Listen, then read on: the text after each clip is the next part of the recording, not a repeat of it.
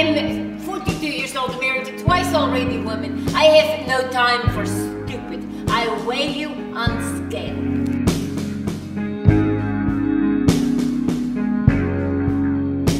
People try to take you, fight. I am fighting.